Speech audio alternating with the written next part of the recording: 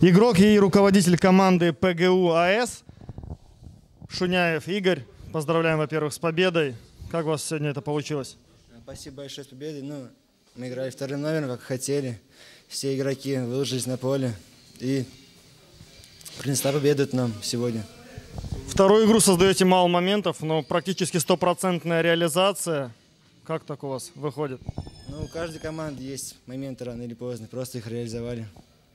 Готовились как-то к сопернику? К сопернику нет. Не знали вообще, какая команда из Саратова? Ну, знали, что сильная команда, будет сложная игра.